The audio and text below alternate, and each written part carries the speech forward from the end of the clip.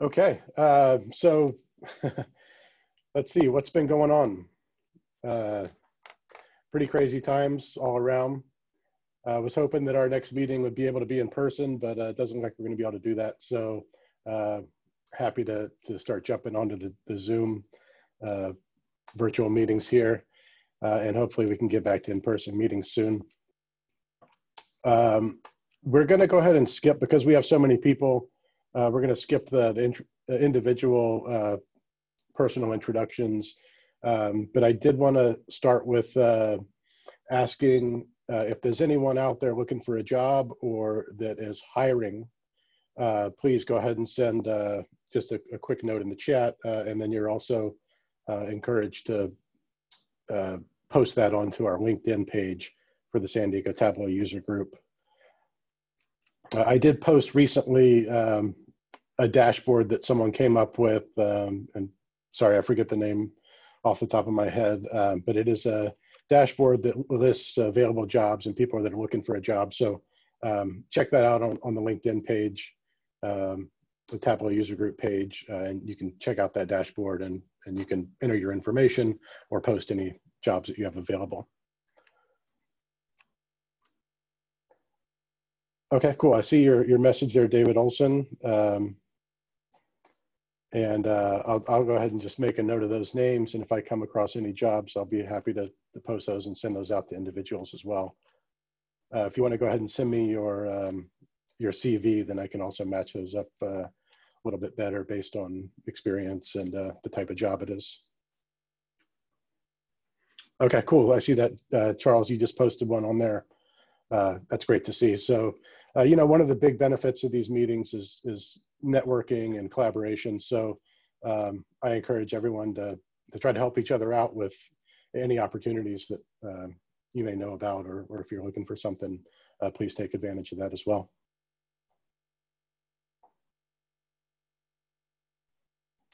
Um, and with that, I'm going to go ahead and uh, introduce Stephen Skinner, who's our presenter today, our first presenter. Um, I met Stephen about a little over a year ago, I believe uh, at one of our meetings here in San Diego. Um, and Stephen came to me with, a, with an interesting story. He had a career uh, as a, an IT manager um, and in, in some non-Tableau, non, non-data visualization uh, background. Uh, but he was looking to make the change into data visualization with a focus on Tableau. Um, and then I, I talked with Stephen at the, the Tableau user group last year uh, as well in uh, Las Vegas. Um, and he was telling me about his journey of just basically self uh, self teaching through all of the amazing community resources out there and uh, Tableau's uh, tr training, online training, knowledge base, and all that. Um, and I thought it was a really interesting story to see how someone just uh, basically came from nothing, built their skill set up over a relatively short amount of time um, and was was being so pro proactive on that. So I wanted to uh, to give Stephen the opportunity to tell his story, uh, and um, we're going to find out about that today. And he's also going to talk about uh, design principles because he comes from a, a design background as well. Uh, so I'll go ahead and hand it off to you, Stephen. Okay, great. Thank you, Matt. Hello, everybody. It's really a it, it's a big change to be uh, on this side of the uh, the microphone, so to speak. Um, usually, I'm in the audience uh, in Zoom, so uh, it's nice to see everybody. Um, welcome. Glad you could join us wherever you're uh, you're coming from. Um, this year, I've I've attended quite a few tug meetings in different parts of the world um, virtually, and that's been interesting too. So, anyway, I'm going to go ahead and um, uh, share my screen. I've got a slide deck I'm going to talk through, and uh, and we'll do uh, we'll do Q&A uh, uh, at the end of each session using the Q&A um, icon at the bottom of your Zoom window. So uh, Matt and I are going to help moderate Q&A for each other uh, as we go too. So I'm just going to go ahead and dive right in, share my screen. Yeah, and I'll just mention it's it's preferred to use the Q&A as opposed to the chat. Good. Okay.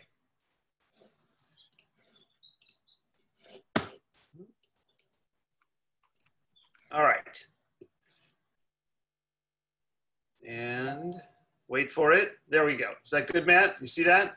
Yep, looks good. Looks full screen Okay. on my side. And so I am. Uh, where am I? Uh, well, I'm in. Uh, I'm in um, uh, the Hillcrest Bankers Hill area of San Diego. So, um, uh, okay, uh, let's dive right in.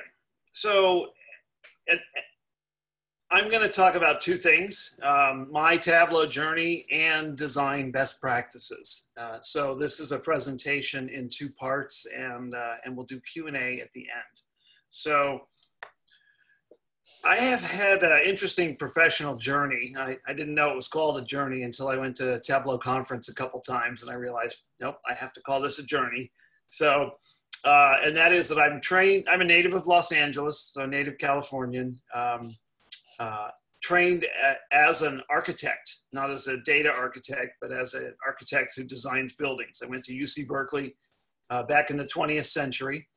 And um, I've had kind of a, unconventional career in that it's tended to follow my interests and for the most part i've been very lucky because i've been able to do things that that interest me and um, that really has been my motivation um, after architecture uh, after graduating with an architecture degree i became very interested in 3d computer graphics which was not really a thing in architecture in the 80s um, and that led me to the computer graphics industry and visual effects in Hollywood, um, which took me to Silicon Valley, um, where I uh, got caught up in the dot com uh, boom and bust cycle. And I had to reinvent myself uh, in 2002 because uh, all of the uh, tech jobs went away for a while at that time. And I moved into real estate technology because I realized that despite all the startups I'd worked for, the only way I actually made money changing jobs was when I would flip my own house. And having been an architect, I knew something about houses. I ended up selling houses for a few years, which I hated. Um, and, uh, and I moved into the technology side of the space, working as VP of technology and then later CIO for two of the largest um, residential brokers here in California. And along the way, companies like Trulia and Zillow came out and they started to introduce um, visualization tools into real estate. And that helped to really open up my eyes to the possibilities for visualization. Uh, I learned, in fact, that you know Tableau was really the go-to uh, platform for that. And in 2018, I left my job as CIO at First Team Real Estate in Orange County to focus on um, contracting for them, but also to focus on developing a visualization practice.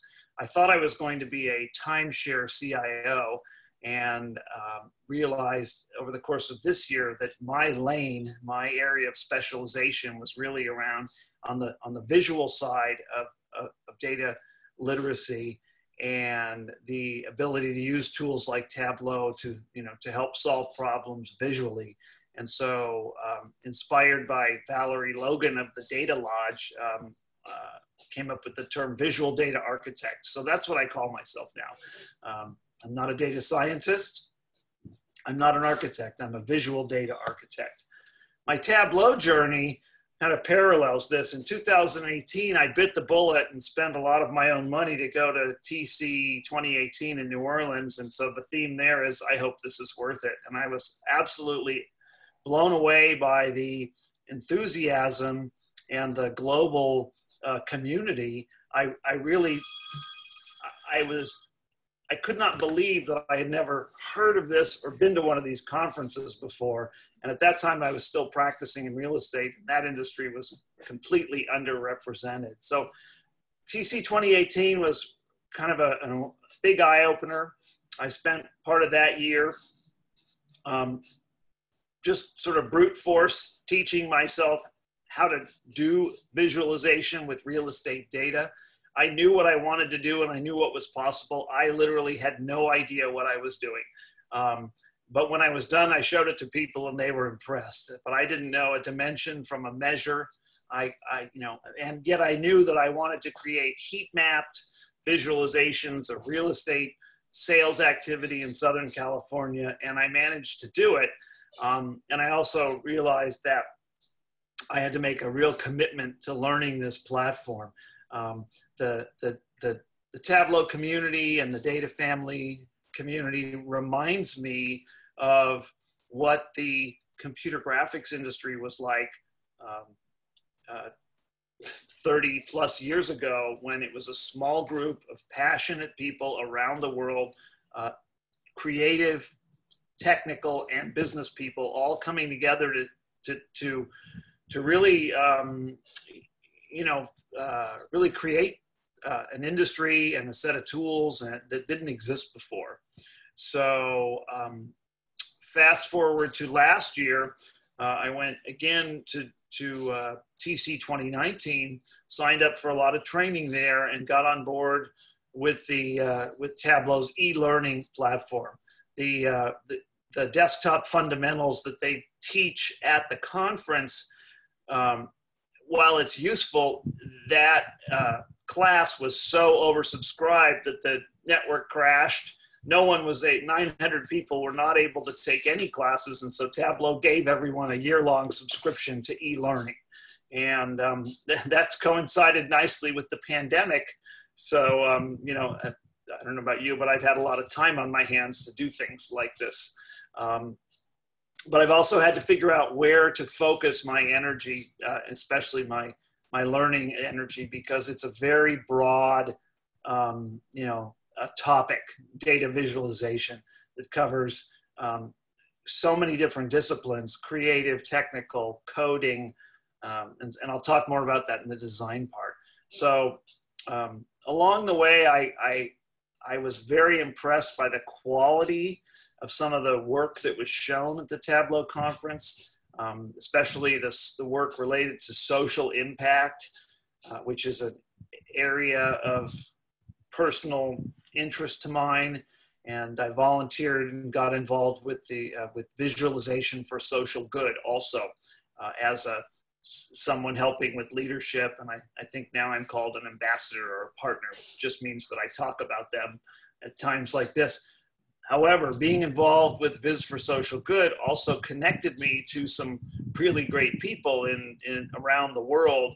Some of them people I would not otherwise have had a chance to get to know, like David Pires and Neil Richards, you know, Chloe Tseng, who founded Viz for Social Good. And these are these are Tableau Zen masters, people who've won Iron Viz and and um, and have been very like everyone else in the community have been um, very encouraging uh, to people like myself who showed a uh, you know an ongoing interest. So again, fast forward to 2020, I'm I'm practicing as a uh, as a consultant and trying to develop my practice in this in this area that I call visual data architecture. So, just a quick little uh, uh, snapshot of how I got here, because, and I'll try to tie it all together in a few minutes. Uh, in 1982, the computer, the personal computer revolution started. I saw these things in stores, and I wanted one, and I or I wanted to use one at work, and I couldn't do either. So I literally bought a Apple computer, and I taught myself 3D uh, the fundamentals of 3D computer graphics back when um, the image on the right was a real-time flight simulator program.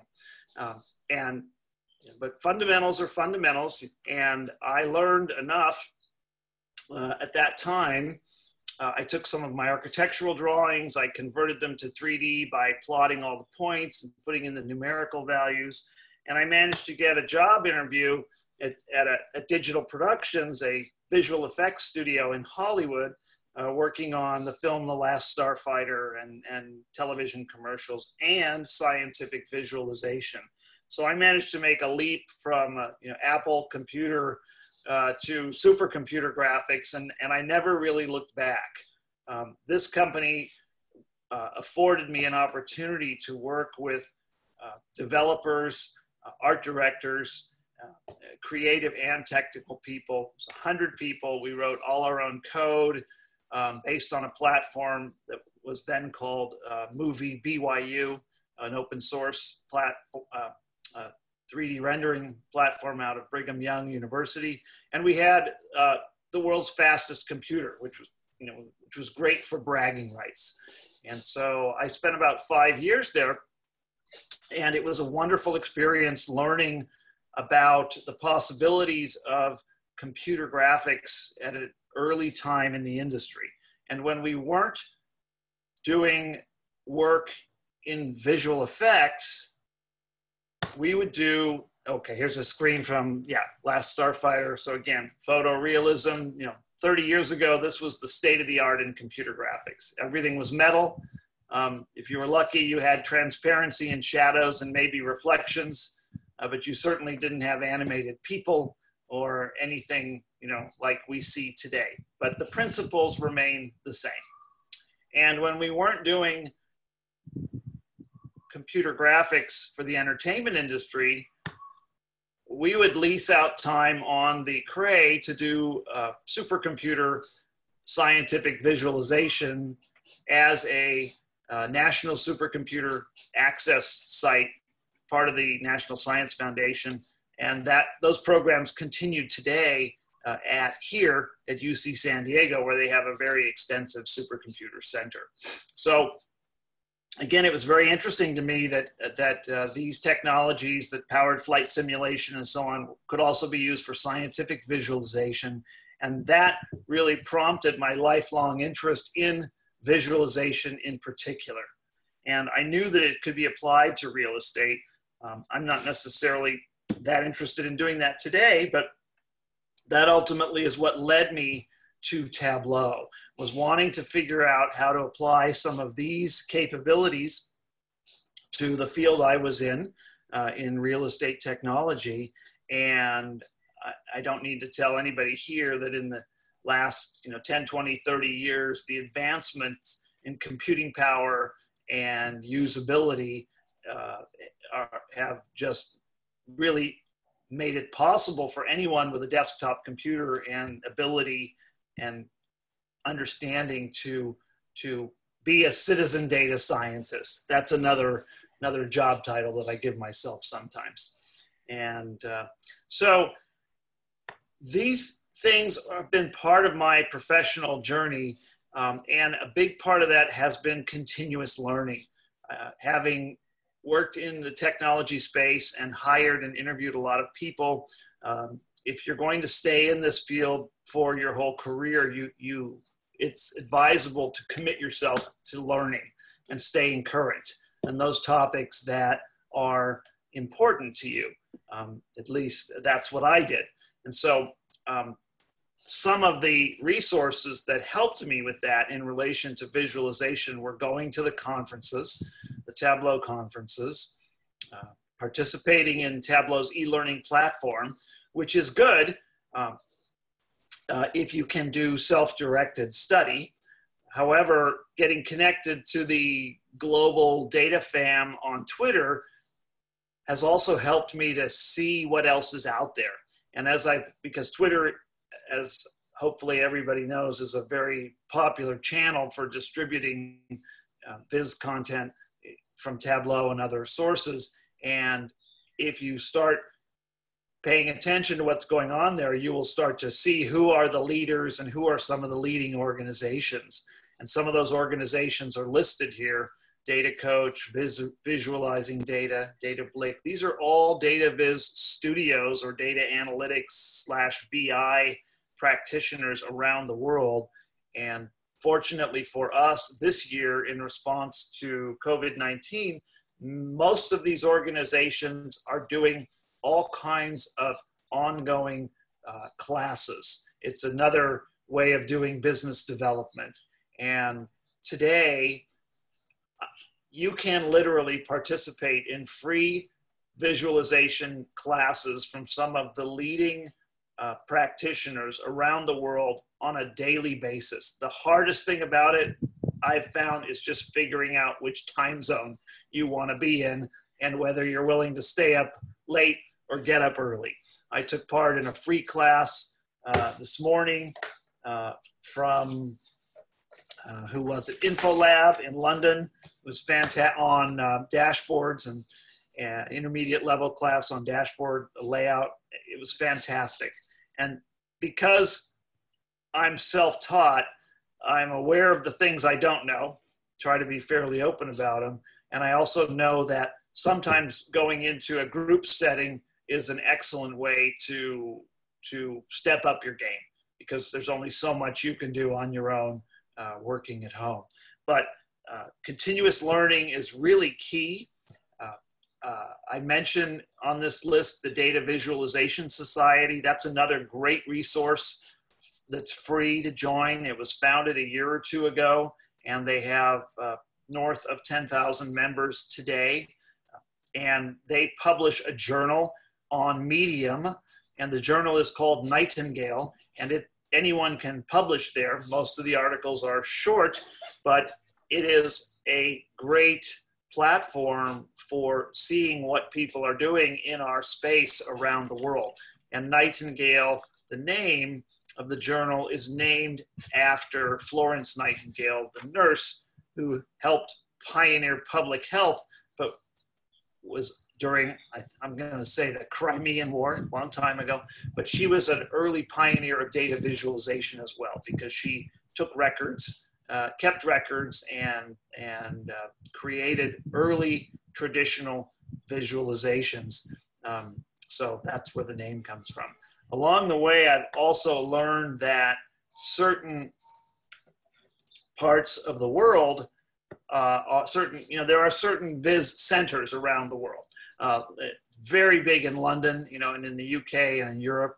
I had an opportunity to work in Europe doing animation for three and a half years, and um, and I became very interested in what was then called inf- infographics, and you know, and that led to dashboards, and that led us to where we are today. So, a quick, a quick question, Stephen. Yeah. Um, someone, Michael Lane was asking, where was the the class that you took on intermediate dashboards? Uh, the organization is called InfoLab. And I, I, think what I'd be happy to do as a follow up to our session today, Matt, is to put together a one sheet of uh, resource links that we could you could distribute to everybody here or we could post for sharing. Fantastic. Thanks. Yeah. So that was at infolab but all of these organizations are offering free um, free training. And you can only watch so many tableau self-guided videos before you really want to be in a class with some other people you can relate to yeah, absolutely. Um, we have another question, but I'll hold it until you get to your um, your design slides. All right. So along the way, you know, some of my personal challenges have been that I'm not a data scientist. I don't. You know, I wish I was because I like to do. You know, I like to learn things, but I I don't write code, and frankly, uh, math is not my strong point. That's why Matt and I have become friends. He's the math guy, but. Um, uh, so those have been challenges, and and they have also recognizing those challenges have helped me understand where to focus my my practice and my practice area being technical and creative but really focused on the visual analytics side of it in partnership with the data science uh, side of it as well i'm having worked in technology my whole career, I've always worked at organizations where software development was a part of what we did, either in-house or with with third parties. And uh, so it's not that I'm uh, not comfortable in that space, but when push comes to shove, I'm not the person who's going to write the code, even if I know what it needs to do or have a have a good idea. Uh, another challenge when you're self-employed as a consultant or a contractor is self-promotion. You have to market yourself and you need to get the word out there that, that you are in this field and this is these are the services that you offer. And if you don't do that people won't know that you're available. And along with that comes you know the challenge of being confident about your abilities and that you're making good choices about what you're spending your time on and that you can actually uh, do this work and help people uh, along the way. And last but not least, of course, you know, money, time are all factors in this, and also, um, you know, will acceptance, will will um, you know, uh, do I belong here? And fortunately for uh, our community and the, the, the global data visualization community, that's really not an issue. The, the willingness of everyone globally to help lift other people up has been pretty astounding. And if anything, I personally have not taken enough advantage of that.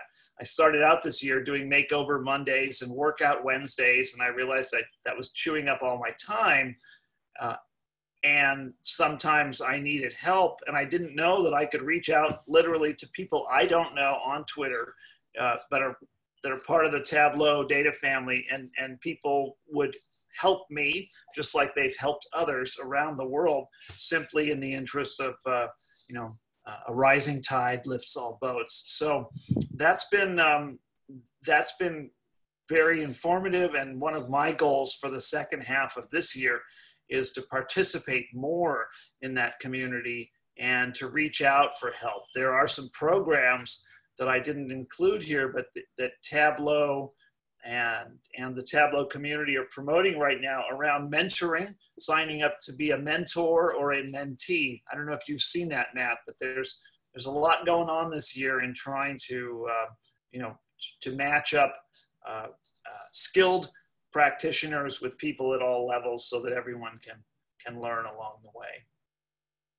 Yeah, and I'll just mention that's that's always been a goal of the user group or an aim of the user group as well. That uh, we try to have content for everybody because what I find is that uh, we have a lot of people that come to the meetings year after year and are very experienced, but every single meeting, I would say either easily half of the people have just started with Tableau or haven't even used it yet and are just getting interested in it. So there's always that uh, that set of new users. So we're going to try to keep the content uh, something available for everyone.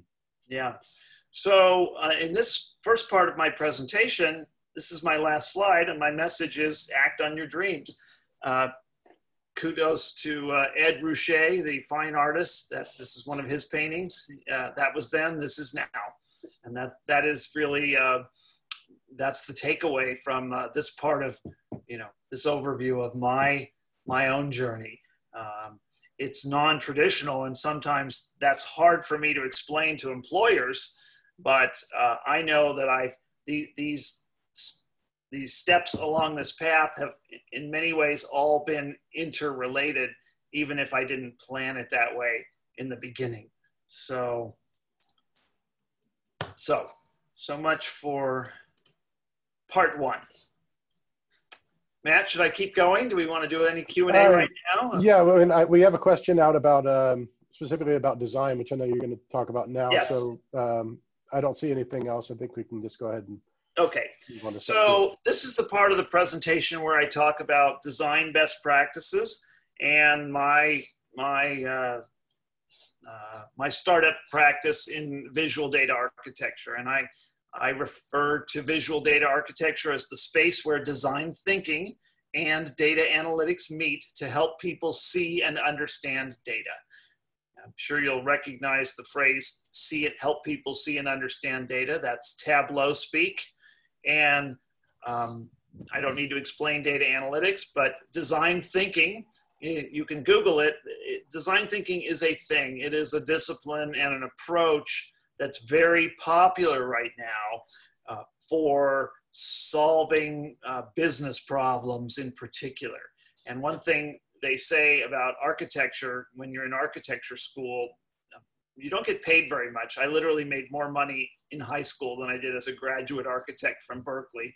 But they, architecture, the saying is, um, it's good training for doing other things. And I'm, I'm a good example of that because it teaches you about uh, creative and technical problem solving and provides you with a process and a framework to do that. And it's an iterative process and that can result in a building, but it can also result in a solution. And so for what we're talking about, it's really a solution. And because I'm practicing in this space, I'm trying to tie it all together with my background this uh, the illustration on the left is by a man named Hugh Ferriss in the 1930s. He did a lot of futuristic renderings with you know charcoal and and uh, they kind of speak to the, the mystery of of things and buildings and structure and so on. So agenda, design best practices. We've talked about my Tableau journey. So first of all, trending now, uh, the Iron Viz competition uh, submittals for the for judging the first round just wrapped up this week. There were 370 entries in the category of health and wellness. And if you have not seen any of these, it's worth looking at them. And you can find them uh, through Twitter under, I believe, the hashtag IronViz. And it's fascinating to see what around the world, what kind of choices people have made, creative and technical, to tell a story around health and wellness. Um, and again, it's a great source of design inspiration as well. You'll see people have taken very different approaches. And the way Iron Viz works is this is the first round. You know, uh, finalists will be selected from this and they will compete uh, later in the year in the actual competition. I understand that the 370 entries is a significant multiple from any previous year, at least 4x. So it speaks to the growth of the you know competency and skills and motivation of people around the world as well. And, and that's been fun to watch. Uh, another thing, two other things that are trending now uh, complexity it seems like it's part of Iron Viz and some people's goals in Tableau, which you'll see in Tableau Public, is to make really complicated dashboards. And you know, they're not just complicated; they're they represent a visual expression of some incredible technical achievements as well. Uh, and yet, if you look at the types of things people are creating, uh, complexity is clearly a trend, and partly driven by the the availability of data from you know so many sources now. And a newer trend that has just emerged is the long form viz or you know dashboards go portrait mode uh, in, in a nutshell. And it'll be interesting to watch that. Someone published an article this week our dash oh, it was a different article but you're seeing more and more of these long form viz uh, projects where the the uh, Viz layout and resolution are, are, are, structured much like web pages are and websites are now for a vertical uh, uh, portrait orientation as opposed to the more traditional uh, landscape orientation. So. Yeah, I think that's a good good technique when you're telling a story. I've seen some really yeah, good use of that. Yeah. Now, you know, really what we're talking about is visual communications, and I've learned. I made a quick list of some of the some of the bins that that might fall into. You have information design, a ton of work in the area of data journalism, quite a bit of it making into newspaper, into the media these days in response to COVID-19. You have pure storytelling, you know, more traditional data viz and scientific viz, and of course, um, you know, BI as well. Uh, everywhere I've ever worked, BI meant, you know, a stack of uh, I've printed out Excel reports that the CFO looked at once a month, but I'm happy to be leaving that world behind. The illustration here is from Lovelytics. They're a firm back east that does a lot of BI work, and they've published quite a few, I'll call them open source templates uh, for business uh, this year that are really worth looking at as well. I'm going to pick up the pace a little bit, Matt, so we can get to stay in our time frame. So, talking about design fundamentals, um, this is really a wide open topic. However, when you're working on your own projects as well as you know uh, enterprise projects, corporate projects, it's important to think about branding, the branding of the work, and the branding of the company you're doing the work for. Design basics is a really wide open description for everything from everything that's on this page composition, execution, best practices, and there are trends, and there is no one trend in a field, you know, in a creative field in particular. Um, color theory is especially relevant to what we're doing, uh, where we are designing for a user experience, and not only can uh, skillful use of color theory help improve the work, but it can also be used for accessibility when you're designing for people who may, um, I, we don't call it color blindness anymore, but I don't know the other term, may have difficulty in perceiving certain colors. Um, color theory is a topic that you'll find on uh, publications such as Nightingale as well. There is there are people in our Viz community. Apologies for the noise. Uh, who who work and have written and and studied this extensively. Uh, color theory for visualization. One of the areas that's of great interest to me and I struggle with a little bit is in the is in the the more freeform side of the design process. You know, conceptualization um, and uh, sketching and wireframing uh, visualizations before you get into the actual construction of the sheets and dashboards. It's very easy to jump right into Tableau and think you can figure things out there. But just like any creative and technical project, some effort spent on storyboarding will really help you. Uh, and I've taken classes uh, with Andy Kirk in the UK and, and others where they really emphasize the importance of sketching uh, with pen and paper before you put uh, mouse and keyboard you know to work on tableau it's a, it's a different way of problem solving and uh, something that I, even though i know how to do that uh, i struggle with that a little bit as well and then last but not least uh, one thing you'll learn uh, early on if you study design is that designers, especially graphic designers, tend to work off of a grid.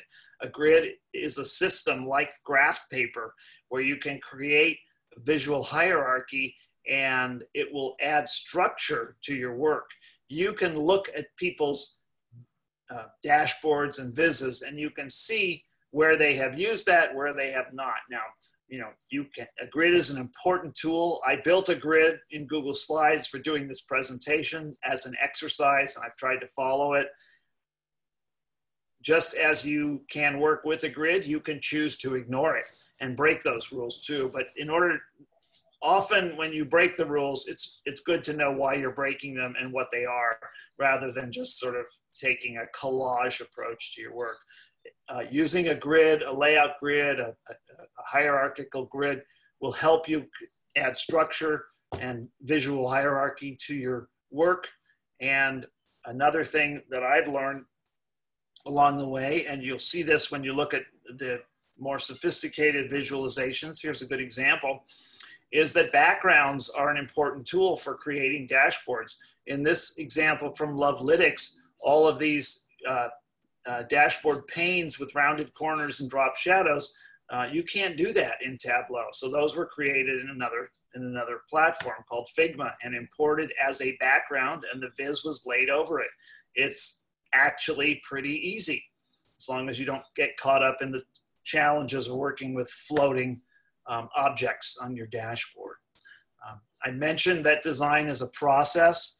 Uh, it's important if you can to involve your customer in that and to have some type of a workflow that you've envisioned for prototyping where you work from simple to complex. In this example, from paper prototypes to user testing on paper, maybe some low fidelity wireframe type of prototype, another round of user testing before you get into the actual dashboard creation.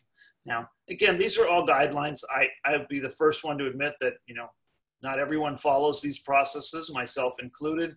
However, the more you can structure your workflow to a process like this, it makes it gives you a framework to talk to your clients and also to manage your own process so that you get from beginning to end with a known process and achievable results and uh, and interaction and approvals from your customer along the way. Nothing worse than building something finishing it, showing it to someone, and then saying, that's not what I wanted. Well, if you work through an iterative process and you get approvals and feedback along the way, you can shield yourself from some of that, shall we say. Okay. And then um, starting to wrap it up here, some of the components of design. Oh, I actually, there's a little bit of repetition here. Actually, this, this is a repeated slide. So sorry about that. Um, let's go to resources. Just a quick overview of some of the resources that I've come across. Uh, I'm a big fan of uh, what's called the Swiss type typographic style. You can look it up. There's tons of practitioners of it. It comes out of the Bauhaus and early 20th century, you know, modern designers. Um, there, however, there is a designer, Massimo Vignelli, uh, quite well known, who's published uh, a book that is free. It's called a Canon, you know, and not Cannon like C A N N O N, but C A N O N. If you Google that, you can download it and you can learn about some of these design techniques about using a grid and how to create a hierarchy and so on. Um, the visual display of quantitative information has been around for decades. It's one of those books that you want to have on your office bookcase and you want to read some of it, uh, maybe all of it. I'm, I'm still not sure. I've literally had that book for decades before I knew what I was going to do with it in the 21st century. And then uh, I have, however, found that the Big Book of Dashboards is a great reference. Um, I yeah, where it's great hard copy reference of how Viz designers have solved different business problems and, and, and why. A few other resources. I mentioned uh, backgrounds. Uh, Figma, Figma.com is a uh, online platform for uh, doing uh, wireframing, collaborative wireframing, and can also be used to create layouts and backgrounds. Most of the really visually strong vises that you'll see use some type of icons from another source. There are a few icons built into Tableau, but but uh, the Noun project is an example of a, a, uh, free resource for icons. You just have to give them attribution. And if you haven't experimented with using icons in your viz, in your dashboard, you'll be amazed at the, um, uh, the improvement you get from doing that and Tableau supports the use of images and, and, icons in, in your dashboards as well. And stock photography is related to icons uh, in that you'll see many of the sophisticated visualizations in submissions like Iron IronViz include photographic imagery as backgrounds and things like that. And they're typically coming from stock photographic sources like iStock Photo or Shutterstock, Getty, etc. Those stock photos can get expensive, but they also represent a great way to add more visual punch to your presentation. Um, wrapping it up here, um, I talked about some of this. I've really learned by looking at uh, Viz authors participating in the data fam and also looking at some of the organizations that are providing free uh, training, coaching, and examples of their work. And I also get inspiration from the world of art and design outside of, of uh, Tableau in particular. And uh, I guess that's my last slide. So let's do Q&A and I'll turn it over to you, Matt. Yeah, fantastic. Thanks for that, Stephen. Uh-huh. Um, we, have, we have some, some questions about um, the design aspects. Uh, the first question was just what is typography? What is typography? Well, uh, ty- that's a great question. Typography refers to um, the work of um, uh, working with, uh, with, with letters, uh, with type. Um, once upon a time, in order to make a printed page, you had to take a piece of lead and smear ink on it and smash it up against a piece of paper. Typography refers to all of that work that you do with type, with words and letters and layout. And uh, uh, it is fonts. fonts thank you. Um, it's supported, you know, there's some typographic tools in Tableau, but sometimes the better resources are outside of Tableau in programs like uh, Adobe Illustrator, Photoshop, and so on. Tableau has limited controls for controlling the spacing between words and letters and things um, like that. So that is the answer. In fact, I will show, this is an example of typography, right? Um, so, next question. Um, no, I, I, wanted to mention that um, I'm not sure if it's still the case. I think it is, but uh, there are certain fonts that Tableau comes with, but if you paste a font that Tableau doesn't support into one of the dialogues, like a text dialogue, it will render that as well as I believe other formatting that's not native, it's not supported in the in the uh, choices that are supplied there. Um, mm-hmm. And I'm, I'm pretty sure that's still the case. Someone could check that. But where Tableau, hmm, that's it's good. You could use PowerPoint or, or Word or something yeah. or wherever else you can get other fonts. Yeah, and and where Tableau is not great is controlling the spacing between letters and words and lines of text. And uh, graphic designer typography is what graphic designers practice and graphic designers pay a lot of attention to that as well um, i can see the q&a now too matt.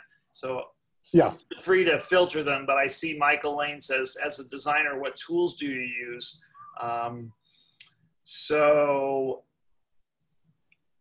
for planning and i'm trying to do a lot of my planning you know through sketching and use tools like Figma to do wireframes, uh, and then use other tools like photo, more traditional graphic, uh, computer graphic or graphic design tools like Photoshop, Illustrator, and so on.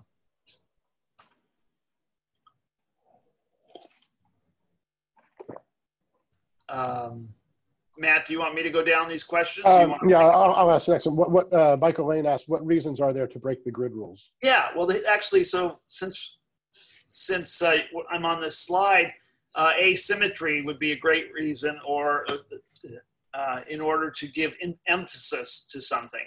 And so there's you know there's examples of um, breaking the rules or using your grid to do certain things. So in this example of this illustration, you know, this is a layout that has one, two, three, four columns, and um, it, they're not, you know, a grid is not unlike using containers when you set up a dashboard, in fact, or you could have a grid that you lay out your containers to follow. But uh, uh, emphasis would be a reason to to break the grid, and and um, you, you can find great resources to learn about this online. I'd say half the designers on the planet have probably made YouTube videos about any one of the things we're talking about, you know, and, and I know that because, you know, I had to research a lot of this just to make my presentation. Sure. Um, where did you get this one for the grid system? Uh, it's something that I saw in a Google search. Um, and I'll, I'll publish that. I'll, I'll, I'll include that in my kind of resource cheat sheet that we'll, we'll okay. send out to everybody. Excellent. Yeah, I see a grid yeah. calculator and some. Yeah, uh, I have some from somebody's blog, but I, you know, honestly, I picked that one because it it worked with the uh, it spoke. You know, um, I'm well, I'm using Helvetica exclusively in this, and it it spoke to the way I was kind of laying out my slides. So. Cool. Helvetica um, the font for for those of you who may be wondering. And uh, I wanted to point out that, that Charles Sutton put in a few links uh, for some color scheme sites mm-hmm. that people can use. Um, and, and Charles also mentioned, remember people don't consume information beyond one scroll, so don't make it too long for the, uh, for the vertical long form. Mm-hmm. And that, that's a great point. Um, so one more, uh, what's your take on complexity in practical data visualization. My takes complexity tends to be a detractor in business settings and simplicity rules. Thoughts? And I think that comes from Robbie Gerber and his team. Well, yeah, it's a great question. You know, I mean, I, I have to admit, I'm really drawn to these really complicated presentations. Some of, you know, I was a lifelong reader of science fiction and National Geographic, and I used to collect all their maps. And somehow, all of so there's a part of my own, you know, I think complexity is. Well, I would say that personally, I think simplicity is better, but it's hard to present. You know, the real art is when you can take a complex topic and, and do a simple presentation of it. And so, I, I, think like in the example of the iron viz submissions people are just throwing everything onto the page like hey i, I look at all look at what i can do. It doesn't necessarily mean it's the best way to present the information but um, uh, you know we all have our own styles.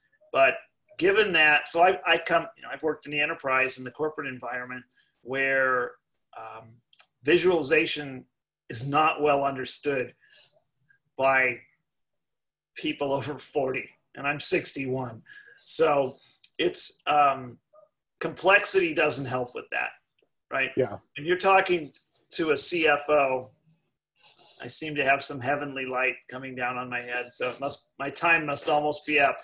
Um, when you're talking to a cfo who's used to working in excel you know showing them a complex dashboard is not going to help you uh, get that not going to help convince them that they should try this you know Yeah.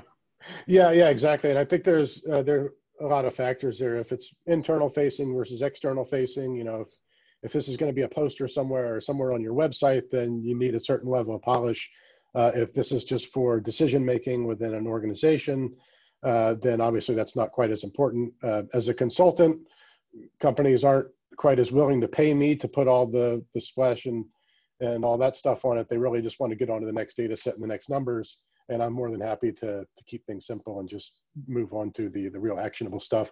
Um, but I really am also blown away by these kind of things, um, and I, I spent a lot of time looking at them in, uh, at the last Tableau conference where they had about 40 or 50 of these up on the walls, and uh, just really just amazed at what people can do.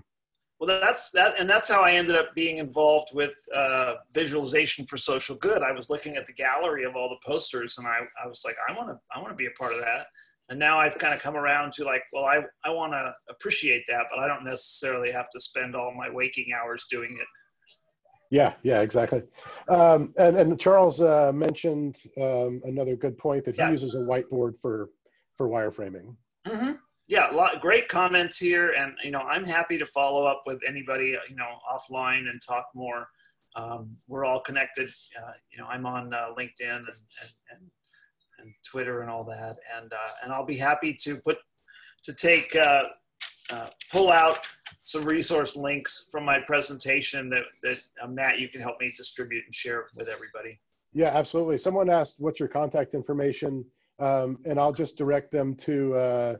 Uh, I'll just The- type it in here if that's okay. Uh, yeah, yeah, absolutely. Um, and I'll put, or we'll, you can put, post your slides and um, any other info to the the LinkedIn Tableau user group page. So whoever's the anonymous attendee that asked that, um, you can find that on the LinkedIn Tableau user Yeah, group. and I would just say one last thing. I'm, you know, as part of all this, you know, I, I knew I had to have a catchy, you know, handle for, for what I was going to be. And because everybody's data somebody on Twitter and there's, there's millennials and data, which I don't, I don't fall into that category. And then there's the millennial data analyst. I thought maybe I'd be the boomer data analyst, but I didn't want to date myself. So, um, you know, I registered a domain name that relates to my practice in visual data architecture, and that's Data Bilder, B I L D E R, Bilder. Bilder is picture in German, and uh, so it's a sort of a play on words connecting, you know, uh, data and and picture and visualization. And so that's my that's my stealth Twitter handle that I'm going to reveal uh, later this year when I get my act together. So, all right, nice. done. Let me Okay. out. Let me off the stage. Thank you, everybody. I hope this Thanks, was useful. Yeah, Yeah, absolutely. Thanks for your time. you. Um, and you know, I, I think on the agenda I put that we'd take a five minute break, but uh, it's only a two hour meeting, so I'll just jump right in. Uh, and I got quite a bit of material as well. Um, so let me go ahead and share my screen here.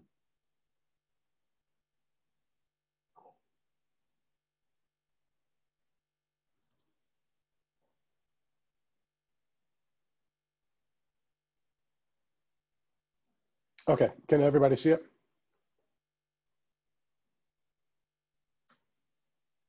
Okay, uh, so what I'm going to talk to talk about today is uh, the economy, which uh, unfortunately is uh, is some really scary stuff right now.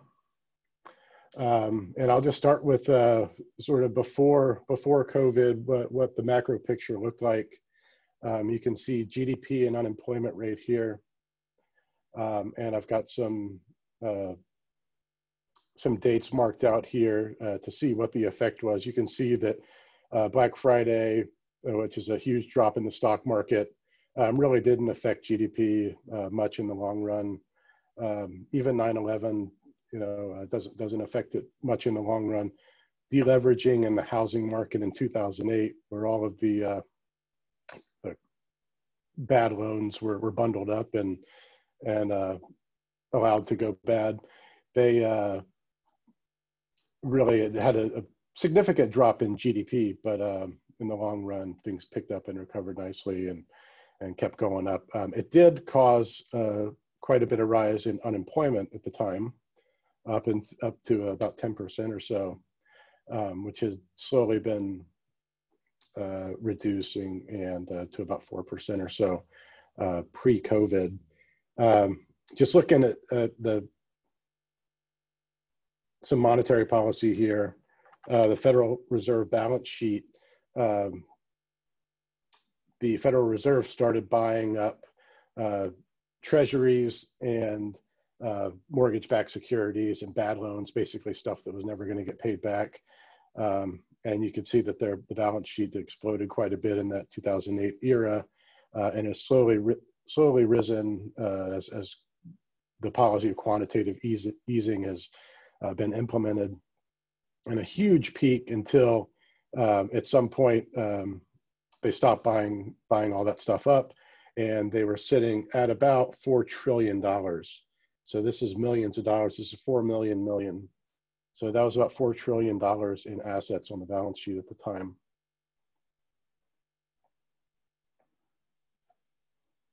And the federal funds rate, uh, which is the interbank uh, lending rate that's set by the Federal Reserve, um, is a way that, that the Federal Reserve tries to control inflation and unemployment, and uh, which is the dual mandate of the Federal Reserve, the stated purpose of the Federal Reserve. Um, and you could see that they had lowered interest rates to basically zero to uh, stimulate the economy, to try to keep more money in the economy, keep people spending. And they had slowly been ramping that up um, before uh, COVID hits. Uh, this is also pre-COVID. So this is uh, looking at the total savings deposits held at the Federal Reserve banks. Uh, and this is basically all of the commercial banks in the United States, uh, probably around the world. They deposit uh, money into the Federal Reserve banks. And um,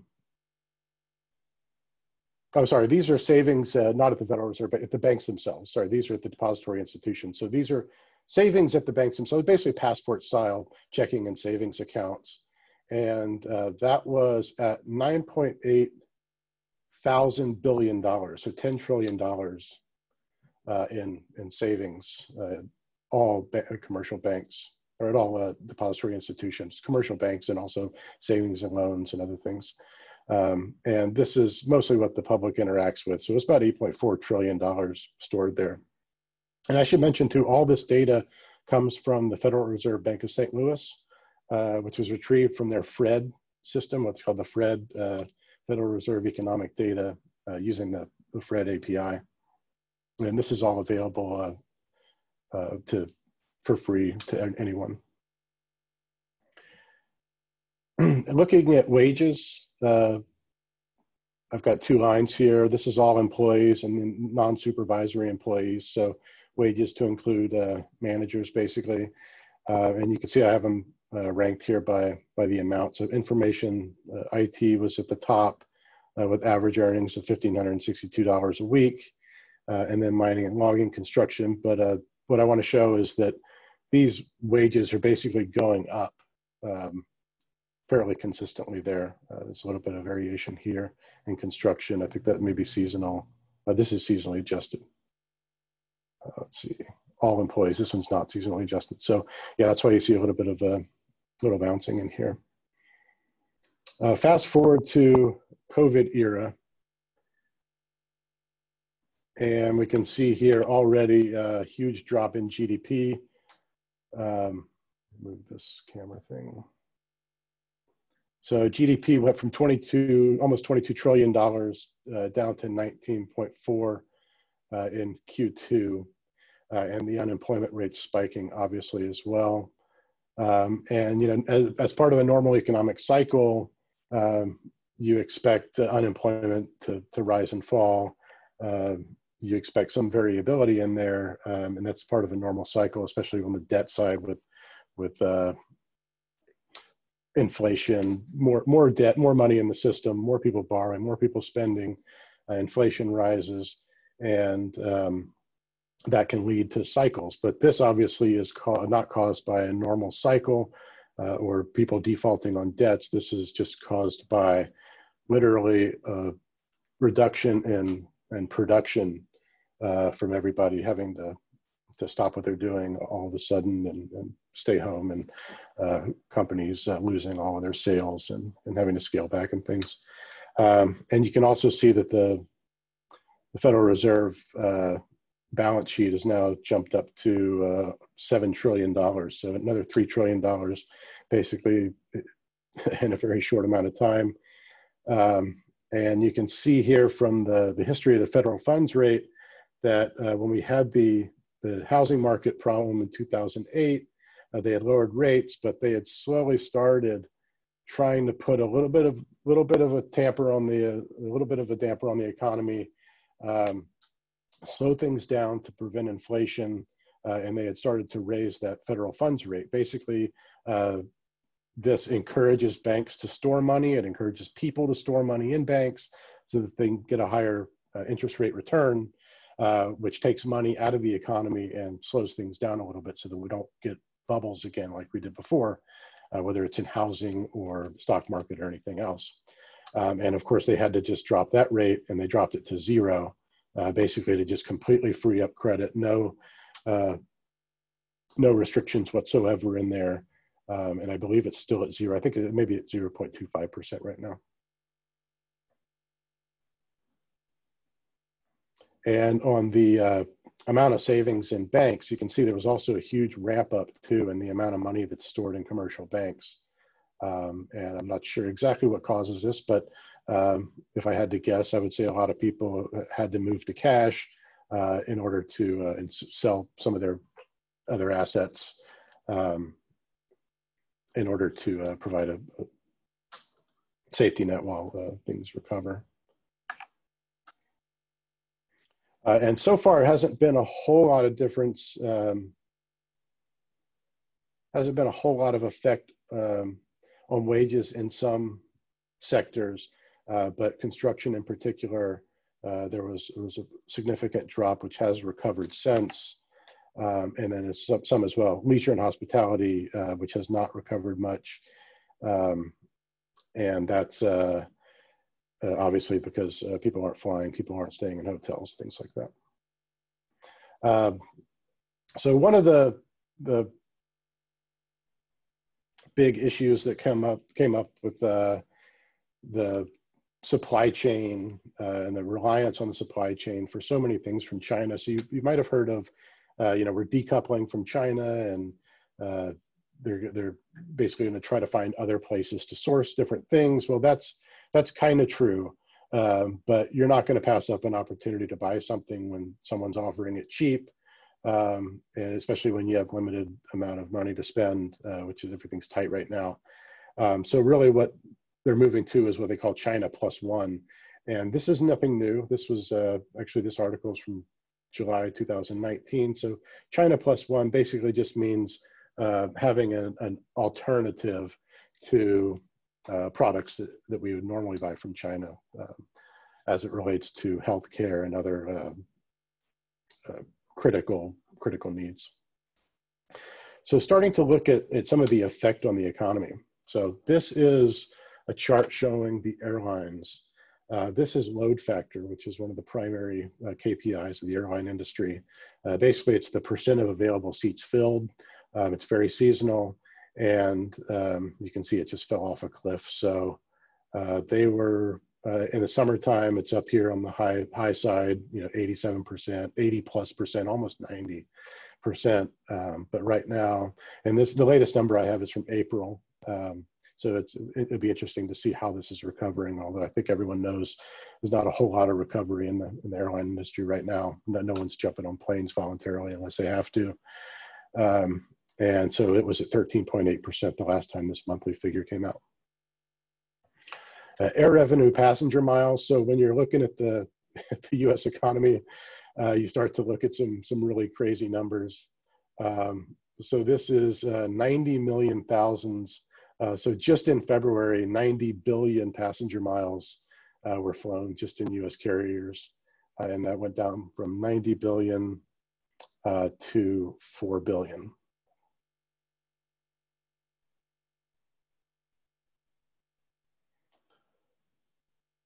Uh, and then looking at the airline industry, um, basically these are new orders for airlines and airline parts.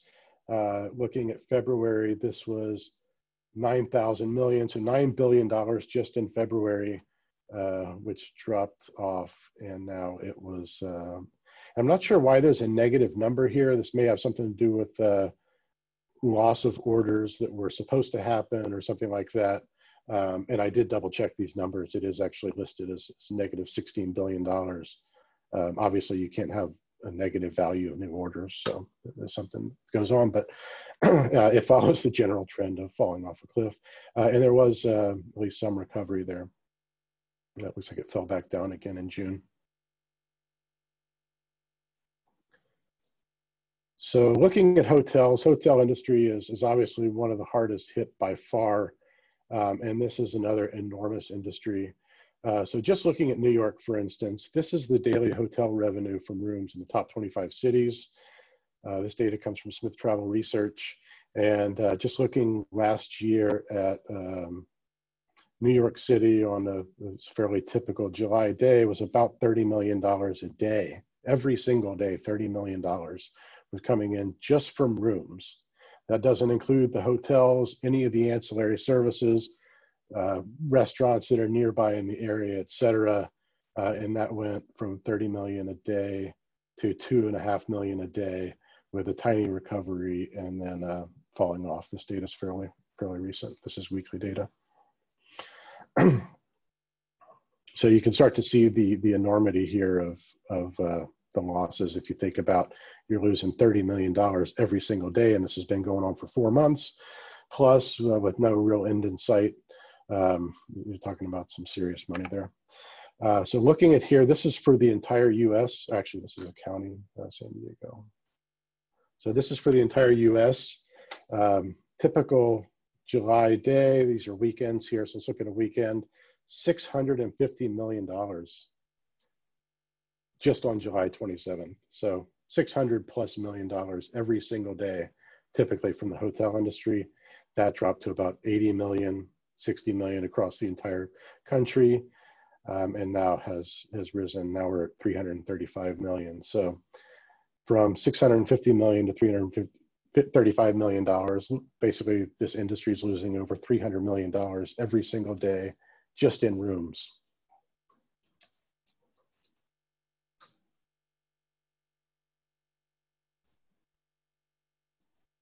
Uh, just to switch over to California real quick, California making 90 plus million dollars a day and now 40 million dollars a day. So one thing to consider with this as well is that uh, there are a number of taxes that are tapped, tacked onto every single hotel room. So you can imagine what the effect of this is on, on state and local tax revenues with uh, the hotel rooms and again, the restaurants and everything else that goes along with that. So uh, there's uh, going to be a big big tax uh, income problem.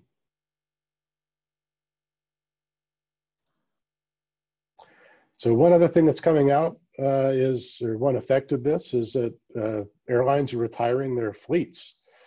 Uh, so this is American Airlines press release, and they have uh, retired all their Airbus A330-300s, 757-200s, so quite a few planes uh, basically that were just retired early.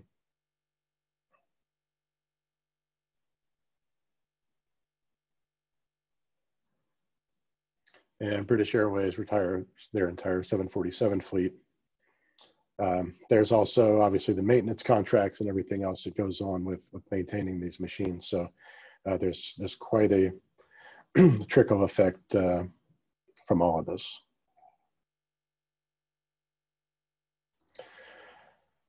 Virgin Airlines on March 17th uh, put out a press release saying that the uh, aviation industry is facing unpre- unprecedented pressure and they're appealing to the government for uh, credit facilities to keep them afloat. Now, this was March 17th when uh, probably a lot of people thought this may not take too long, uh, may be back up on our feet in two or three months, um, not understanding necessarily to the you know the worldwide uh, continued worldwide scope of all of this um, and uh, they actually just uh, filed for bankruptcy uh, on July 14th. They put out this press release saying that they're going to um, basically restructure their debt and uh, file for bankruptcy, and they just filed for bankruptcy a couple days ago.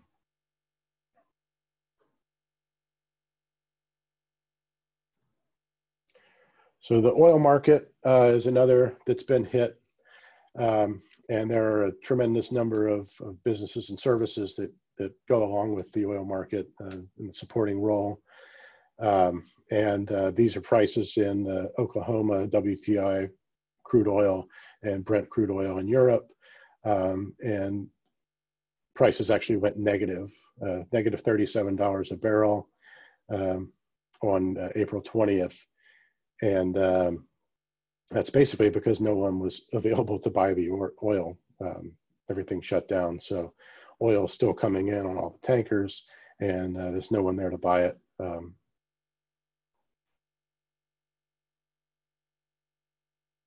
so uh, I'll just I'll just answer this real quick question. Uh, someone asked about the Federal Reserve assets, the upper blue curve. So uh, the Federal Reserve is a system of banks and just like any bank, they can buy things and they can buy uh, they they buy bonds uh, and T bills from the, the U.S. Treasury uh, to uh, finance the U.S. government, uh, and then they also buy uh, distressed loans. And in 2008, they bought a lot of mortgage-backed securities, basically mortgages that were in many cases never going to get paid back, especially when housing prices dropped and a lot of unemployment unemployment spiked.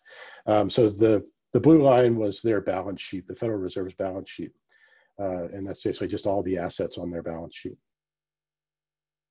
So they are sitting with seven trillion dollars in uh, bonds and bad loans and other things. Uh, and you know the, the idea is that they can eventually sell them back to the market, uh, but the these are not any more competitive than any other bonds out there or anything else. So um, it's basically just a repository.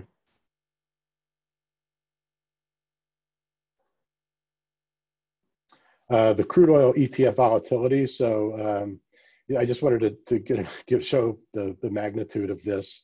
That uh, even in 2008, when there's uh, you know a lot happening, a lot, a lot of uh, uncertainty in the market, um, a lot less driving in 2008, shortly after 2008, because of uh, unemployment and uh, reducing expenses and things that businesses had to do. Uh, but this uh, crude oil index, the ETF uh, volatility index, uh, is basically what the, the spread of the prices. So a lot of times you'll see that these are spiking, but they're going up and down. It doesn't happen in oil so much, but it does happen in other other stock and options on stocks and things. Um, that these are go that the spread is uh, sort of evened out because there's a lot of speculation that things will go up and there's a lot of speculation that things will go down. So if there's a lot of speculation things will go up and a lot of equal speculation that will go down, uh, then you'll get a flat curve here because it, it balances itself out, cancels itself out. Here, all of this volatility is in one direction. It's all down. Basically, all you know, uh, people uh, speculating that the price is going to drop, uh, which is also extremely rare to, to see in finance, a little more common in oil though.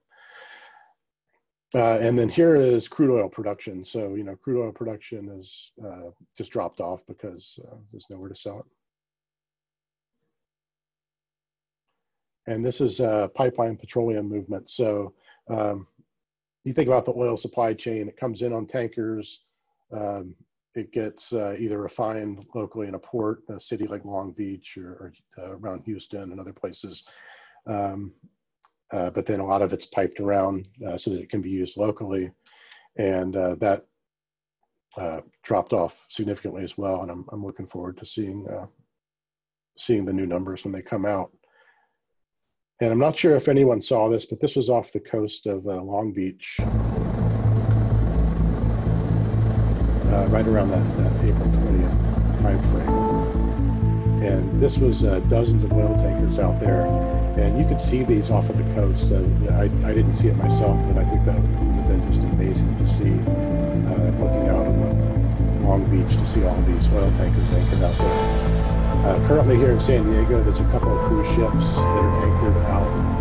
Uh, you can't see them unless you're south of Point Loma, because Point Loma blocks them. But if you go to uh, Coronado drive across the bridge, you can see these giant uh, cruise ships just hanging right off the coast, and some other container ships and other things sometimes as well. It's basically they keep them in uh, cold storage, uh, or sorry, warm, warm storage or hot storage uh, where they have to keep the engines running and things. It actually takes quite a bit to shut one of these machines down. Um, you have to clear out all the, the, fuel lines and all this kind of stuff. So um, they keep them running. They keep a crew on the ships uh, to keep everything running, and uh, they basically live out there. And you can see them out there now if you go down to Coronado. Not not the oil tankers, the uh, the cruise ships and some other ships. So looking at autos, um, this is really interesting uh, chart. Here we have uh, domestic auto production, and up here we have auto inventories. And we actually had quite a bit of buildup of inventory here in the between 2014 and 2017 or so. Um, the production wasn't particularly ramping up, um, and sales were down. So I'm not sure why why there was so much inventory there, uh, but that's interesting. And then it started to come down pretty significantly. Um, and then uh, the sales obviously dropped off. The production dropped off as well, uh, which is somewhat uh, recovered, at least as of June 1st. These are monthly numbers. Um, and inventories are, are down low right now. Um, the other thing is that the the loan rates are low. Uh, so this is 5.14% on a five-year loan, uh, but I've seen a lot of commercials where companies are offering uh, interest-free sales on vehicles. Um, so there are some some opportunities if you need to buy a vehicle out there. Uh, not only can you probably get a zero percent interest rate, but even if you can't get a zero percent interest rate, uh, your bank will do almost anything to to uh, loan somebody money that'll pay back a few percent on an auto loan, which which pays back more on more than other loans.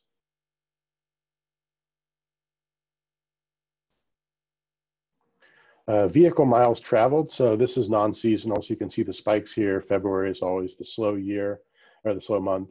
Um, and then in July, uh, 300 billion miles traveled just in the US alone, uh, just in the month of July. And that, like everything else, fell off a cliff down to 168 billion. Uh, and that's uh, recovered, at least as of, I think this is May. Uh, correspondingly, uh, a couple of factors. One, people are driving less, uh, and which uh, drops demand, and then of course the uh, the glut of supply. So um, let's see. If someone from Tableau is listening, um, I wanted to mention that you have to you have to show the title in order to click this little highlight thing. but if you hide the title, which I like to do, then you don't get it.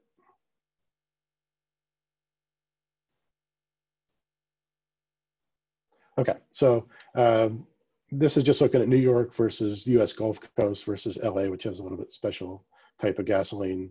Um, but you can see that prices have dropped off quite a bit, um, and they're also recovering um, pretty much around the board. Um, I believe these prices here, this is listed at about a dollar forty per gallon. So you're not going to get that at the pump. I think these are these are probably wholesale prices that don't include uh, federal and state taxes and other things that they uh, that increases the price of gasoline, uh, margin and all that.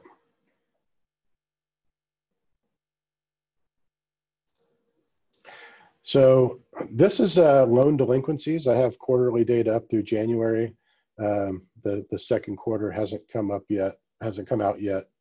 Um, but uh, I would expect that we're going to see some spikes on all of these numbers. So this is looking at the delinquency rates on different types of loans. Here's credit cards. Uh, these are mortgages here. Uh, commercial real estate in particular is almost certainly going to going to be devastated. And uh, the Fed is uh, is taking some action to to help out with this. Looking at jobs, uh, these are the number of employees by sector, uh, and uh, you can see that uh, looking at um, these are monthly numbers. So in February uh, is the February 1st, the, the month of February is the baseline for all of these numbers.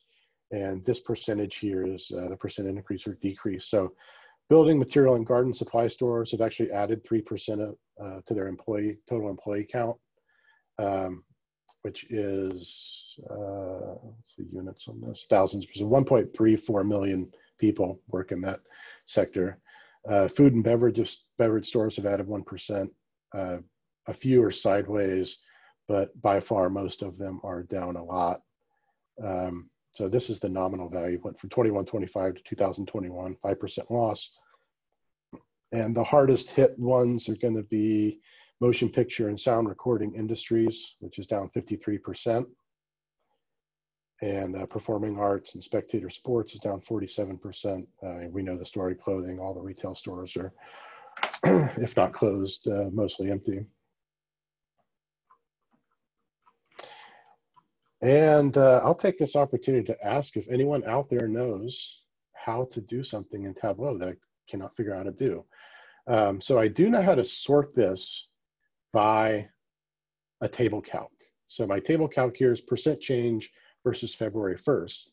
And if you throw that out there and make it discrete, you can move it to the front and Tableau will automatically sort uh, ascending, in this case, the minus 62%, um, will automatically sort these ascending and you can multiply that by minus one to flip that if you'd like.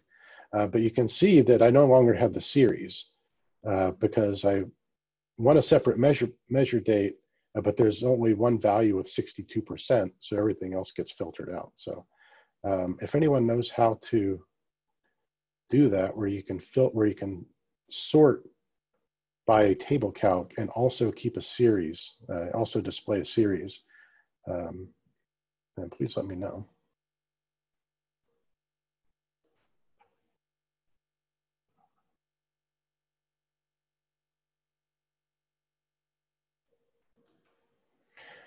so some of the major uh, Federal Reserve actions that were taken was, first of all, they dropped all the, the interbank loan lending rates, uh, so down to 0.25%. Yeah, so they're not actually zero, uh, but 0.25%. So minimize that. Um, a couple days later, uh, they basically made commercial loans available that were backed up or collateralized with commercial paper, municipal bonds, and a bunch of equity types um, which are frankly debt that's going to go unpaid in a lot of cases, not the equities, but uh, commercial paper um, for, for companies that had to shut down. So commercial paper are short-term business loans. Um, every major company uh, issues commercial paper, including Amazon and other countries that are, uh, are companies that are uh, still doing well. And it's just a way that they manage cash flow. Uh, if you need $70 million to pay for some piece of equipment, um, then you can uh, you can basically borrow that money short term um, and then uh, make make that and have that available. So basically, this is the Fed buying again bad assets uh, so that uh, the banks can get those off of their books and they're not all, not all going to go under uh, so that they can continue to loan out money. There were also some uh, some adjustments made um, to loosen up uh, cash flow uh, and cash liquidity for uh, a lot of countries who were seeing a lot of uh, runs to, to get to withdraw US dollars. Um, so you can imagine the, the Federal Reserve literally manages the, the flow of, of hard currency, cash and coins, or uh, currency and coins uh, for the entire world. So they're constantly shipping out real money from their bank vaults to banks, bank vaults around the world. And a lot of these things are just digital transactions. You don't really actually need the hard money. So a lot of the borrowing is just money, just digits going uh, up and down. Uh, but in but there's still a tremendous amount of actual real paper money and real coins uh, that have to be sh shipped constantly around the world uh, so that banks can um, have the the cash that they need to fill up their ATM machines. Um, and there's a well-known cycle for these uh, uh, for how cash moves. Uh, cash moves biggest on weekends and uh, certain holidays. Uh, and you know, there's a long-standing system in place and understanding of how these uh, of how the money needs to move around in order to provide that cash for distribution. but this was obviously an emergency, so they had to jump in and and make some adjustments for that, inc including increasing the frequency. They used to just do these cash swaps on a weekly basis, and now they're doing them on a daily basis. Uh, and one of the biggest uh, changes is that normally, uh, since 2008, banks have to have a certain amount of uh, actual cash, uh, either in the form of currency or gold uh, or other um, secured assets deposited at the Federal Reserve banks. So this is so that the banks can have a certain amount of soundness uh, and, and if they have to draw on those reserves uh, in order to, uh, to hand out money because there's a run on the bank or because they have bad loans that aren't getting paid back or whatever, they can draw on those cash reserves.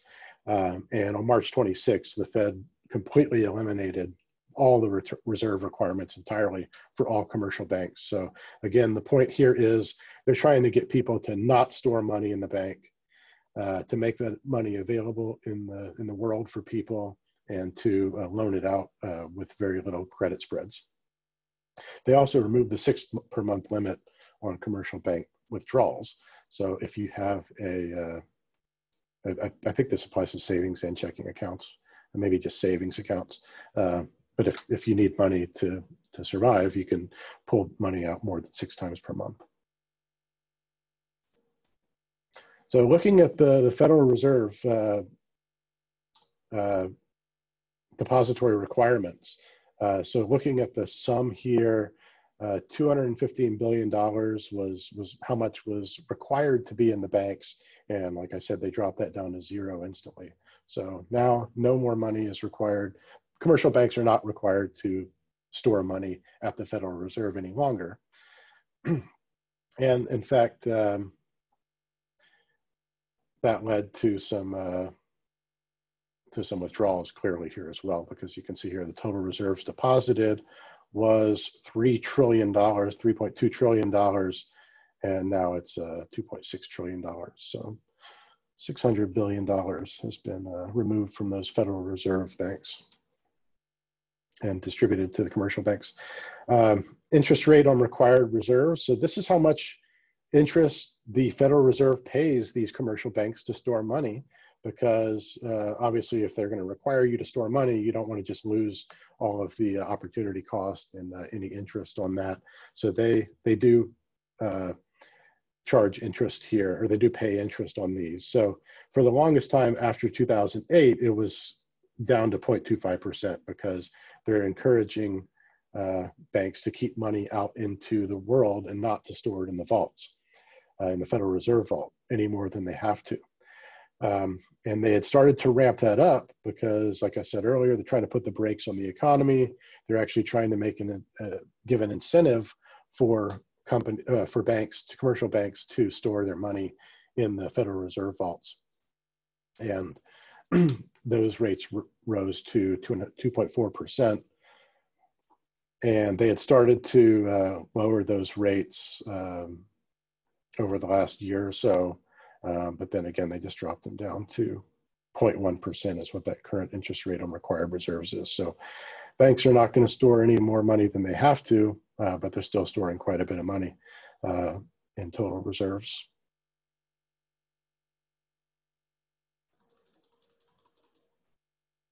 So besides regular required reserves, banks can also store excess reserves and they get the same interest rate uh, roughly on, on uh, storing those excess reserves. So those would just be amounts that are beyond the required reserve limits. And it, it shows a similar pattern where that was ramping up quite a bit um, early COVID times.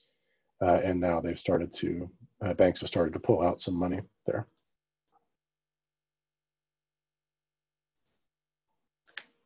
So looking at the, the federal funds and the discount rate, this is uh,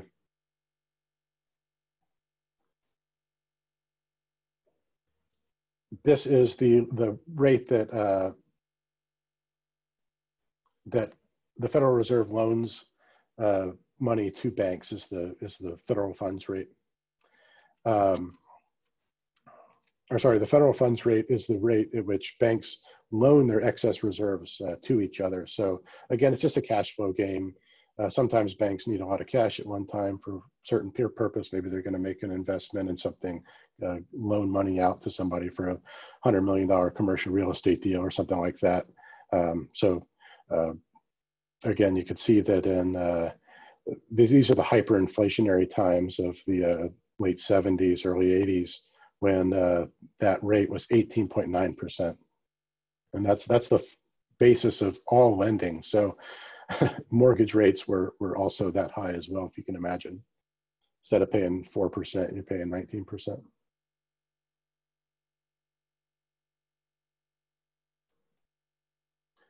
So looking at the, the total amount of federal debt, so I only have numbers up to Q1 right now, so this is gonna, gonna spike tremendously, uh, but this is 20 million million, so 20 trillion dollars uh, in the current uh, federal total debt held by the public. and as a percent of GDP, that's uh, that's above 100% now. So uh, basically, GDP is how much uh, production in a single year, and uh, basically, we the United States could uh, work for a year and pay off all the debt and not spend any of that production on anything else, and, and be able to pay down the debt in a little bit over a year. Uh, so that's going to spike up, and uh, that that's going to be a higher higher percentage of GDP, especially because the denominator GDP itself is going to be lower.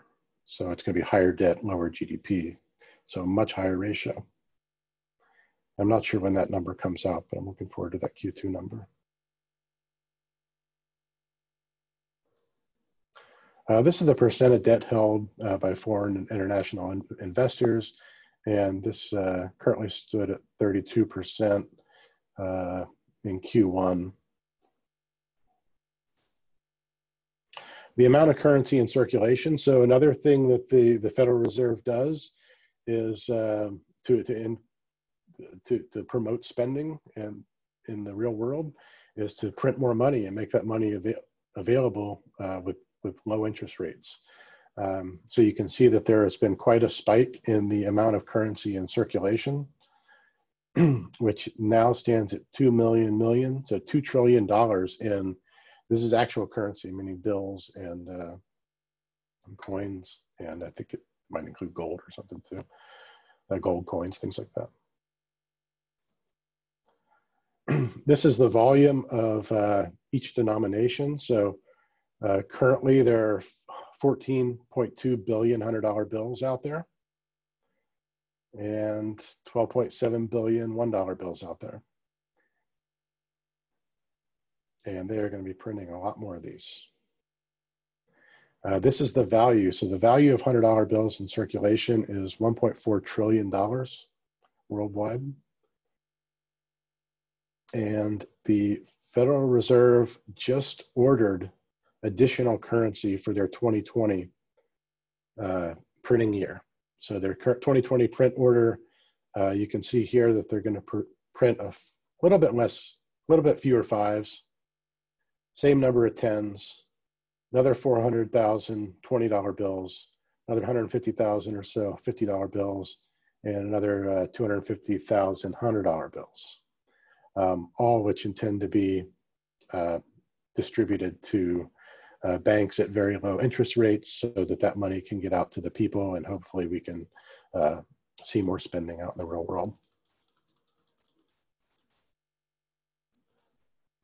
This is the volume of gold at the various uh, depositories and, uh, and the mints in the US. Uh, so this is Fort Knox up here, 147 million troy ounces are stored there. And uh, gold coins are stored uh, mostly in the New York vault at the Federal Reserve Bank, 73,000 troy ounces in gold coins.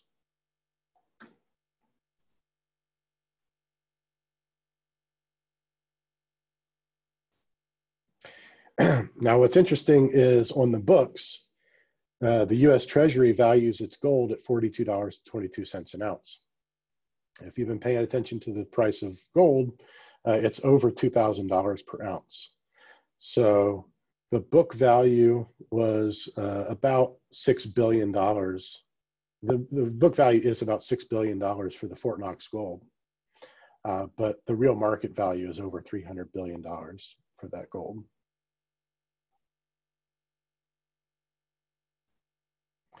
These are coins, uh, coin production.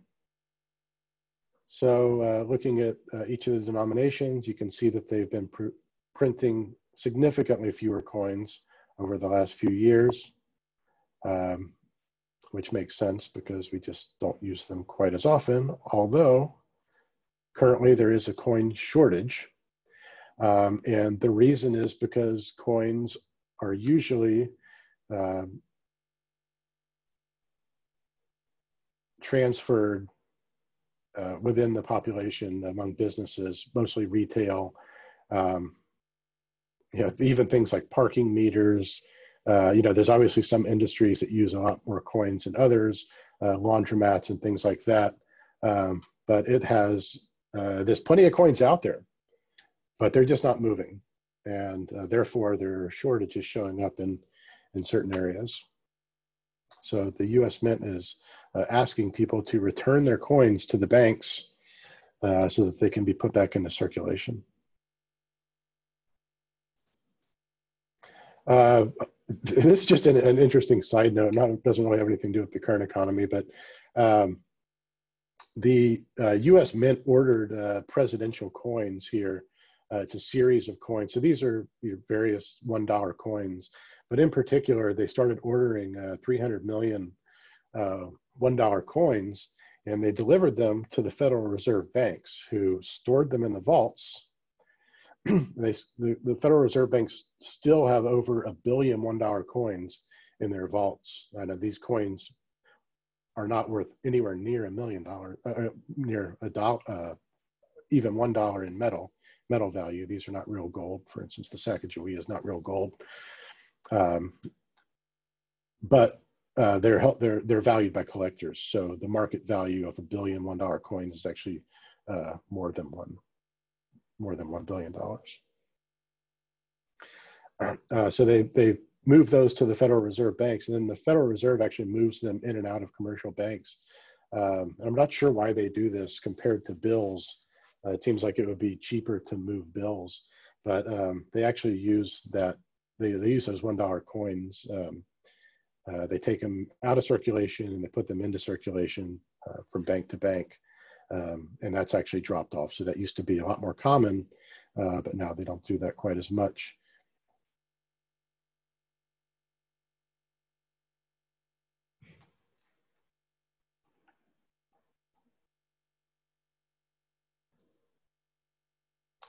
So looking at the, the price of gold,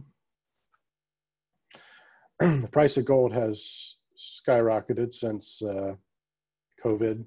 Um, it was already doing uh, pretty well. It was uh, holding and rising even uh, above its above the levels that it was holding. Um, hadn't quite reached its peak uh, of 2011, uh, but since then it has blown through that. And now, as of yesterday, it was $2,048 per ounce.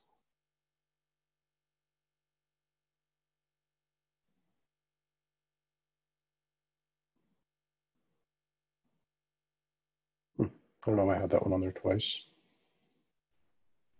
Uh, and then looking at the the gold mining and production uh, hasn't really been uh, significantly affected, uh, but it is considerably lower than it used to be. And I imagine that's going to ramp up quite a bit now that gold has uh, become so much more valuable. So looking at inflation, one of the big questions out there right now is, is, is there going to be hyperinflation because they're printing so much money? Um, and uh, this is a, a, real balancing act. There are right now tremendous inflationary pressures, but there are also tremendous deflationary pressures. So in the short term, people are not worried about inflation, but in the longer term, they are. And some of the things that's showing is the dollar's weakening right now, gold price is soaring. Um, the, you know, some of the, the factors are that, like I mentioned, the Fed is basically putting more and more money into circulation and reducing credit, uh, reducing credit rates so that um, people can spend that money. So they're trying to put as much money out there as possible and make it as easy to, to borrow and therefore spend. uh, but because of demand with low employment, uh, the less spending and the reduced cost of labor is keeping prices down. Um, and of course, consumers and businesses are reducing expenses. Uh, and a lot of people are delaying larger purchases even if they have the money, uh, for instance, real estate.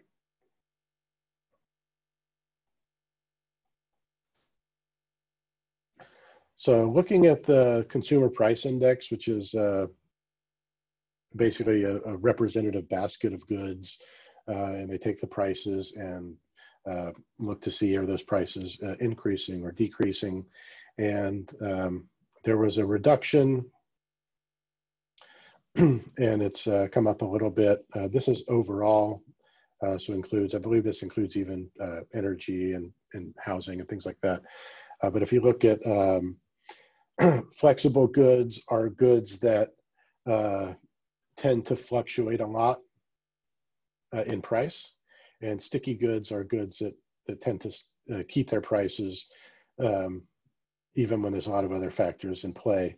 And that has mostly to do with the fact that certain industries take uh, more money to ramp up supply and um, just they don't respond quite as much to, uh, to, to fast trends but even those sticky priced goods fell quite a bit, um, but they've recovered to normal levels for the most part, uh, as have uh, flexible goods prices. Uh, one thing that is up a lot is uh, the price of meat. So you can see here there's uh, quite a bit of spike here uh, in almost every category, steaks, pork chops, ham, bacon, but it's not as high as other prices. So it's still still uh, not uh, uh, contributing a ton to inflation at this point. Some food staples like uh, butter, um, eggs, sugar, beans, a lot of those prices are actually down. Uh, coffee's up a little bit uh, and bread's up a little bit, but for the most part, these these commodity or these yeah consumer goods prices are down right now, uh, and, and balancing out some of the, the increases in other areas. Fruits and vegetables not showing much change at this point either. And alcohol, tiny little spike in vodka price. not sure if people are using that as a hand sanitizer or, or drinking it, but um, it's also not as high as other things. And uh, wine luckily is down a little bit.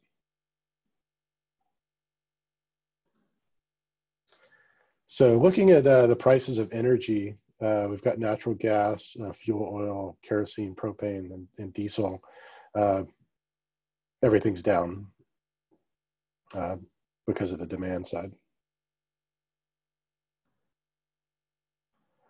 Looking at foreign exchange rates, uh, this is the euro and the Canadian dollar. And you can see here that, um, and these are actually inverse. So this one is how many Canadian dollars to a US dollar, and this one's how many US dollars to a euro. So um, when one goes up, the other one actually, uh, when one goes up, it means it's stronger. When the other one goes down, it means it's stronger. Um, so right now you can see that there was a, some strength in the US dollar against the uh, the Canadian dollar, you could get 1.4 Canadian dollars right after COVID hit. It was 1.3 before, uh, but that's come down a little bit. The dollar is losing some strength and it's back to about the levels that it was. And you see the same thing with the euro. Um, uh, and now you can get $1.17 for one euro, um, which is up from about a dollar ten. So not, not a whole lot of change there, but it is starting to trend up here, meaning dollar weakness. The Japanese yen hasn't changed much. It's been extremely stable uh, and didn't change a whole lot during COVID. Um, you can see from Mexico, uh, peso, Mexican peso, um, the dollar has gained, gained strength against the Mexican peso, and that's coming down a little bit, um, but it's still on an upward trend, and the Brazilian real as well. so looking at um, the dollar index, so this is looking at across all currencies, basically um, the strength of the dollar against everything. Um, and it was going up uh, quite a bit until COVID and then even a spike until uh, at COVID, but then um, it's, it's taking a downward trend now as the dollar is losing some, uh, losing some strength here. And you can trade foreign exchange too. So um, there's almost no barrier to to get into the trading of forex. So uh, if you think that these trends are going to go one way or other, you can actually invest that way. Looking at treasury bills, which are short-term uh, debt offered by the U.S. government, issued by the U.S. government, and the rates are just nothing right now. Uh, you know, new yield, new issuances as well as secondary markets. So uh, basically, these uh, short-term interest rates are super low. And um, it's just you know there it's a it's a not much it's not going to pay back much. So i would expect the inflows into these as well to be uh, reduced. I don't have those numbers but uh, bond rates uh, looking at the 30 year yield uh, it's paying 1.1% um, back in the late 70s early 80s it was paying 15% for a 30 year bond um, and those bond rates are uh, at this point now for the three year it's 0.1% and for the 30 year it's 1.1% so um, you usually get a bigger spread here when there's uh, optimism uh, as people think that they're going to uh, that the government will be able to pay these back in 30 years. Uh, this is the treasury inflation protected securities so these are, uh, uh, there's definitely money flowing into these right now. The, the amount that they return uh, is, is pegged to the, infl uh, the inflation rate. So um, there's an expectation that inflation is going to increase, which there is over the long term. Um, then these become more, uh, more valuable. And uh, right now they, they're sold at a, one point, a negative 1 yield because people think that they're going to that inflation is going to give you back more than 1% and that that's going to pay off in the long run. I don't know what the break even for that is but over the course of 30 years people are speculating that it's going to be a lot more than 1% inflation. Looking at cd rates uh, which are also paying almost nothing now um, you can see here just looking at the trend lower interest rates here were designed to promote inflation and, and promote employment after the, uh, uh, the 2008 housing bubble. Uh, and those interest rates were low. And then we started to rise. We also saw this in the federal funds rate because these are tied. Uh, so this was basically to prevent the next bu bubble combat, to combat inflation. And um, those rates uh, just dropped off a cliff also, uh, COVID time here. So no reason to buy a CD and store your money in the bank at uh, 0.1% or 0.5%. Banks would rather you have, uh, or the, the government would rather you keep that money and, and spend it out in the real world to promote the economy. Looking at stock uh, exchanges, uh, the NASDAQ has been on a steady increase. S&P also, you can see there's quite a V-shaped recovery here in the stock exchanges. Um, NASDAQ has blown past pre-COVID numbers. Uh, S&P, I have data up to 8.3. It actually, I think yesterday or the day before, it uh, it actually surpassed pre-COVID. So this is actually a little bit higher now. Um, and you can see here, just looking at uh, this is when uh, this is the date basically. Uh, I called it the World COVID date 214 um, when it became obvious that this was was spreading rapidly uh, in China and other parts of the world. Um, and uh, this is the US day, which I'm just calling 3 1. Um, and you can see that uh, the markets were already reacting to the spread, but then when it hit the US, they obviously react even more. Uh, and then you can see those gains being being recovered since then.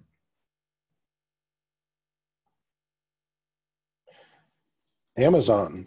Amazon is a company that's been able to leverage their uh, efficiency and their ability to scale, and they have basically kept up with with uh, increased demand for delivery since people aren't going to store to buy to the store to buy things, and uh, they have benefited quite a bit. So, like everything, they they dropped quite a bit uh, right when everything started happening, but uh, they have recovered uh, tremendously since then, and now uh, over three thousand dollars a share.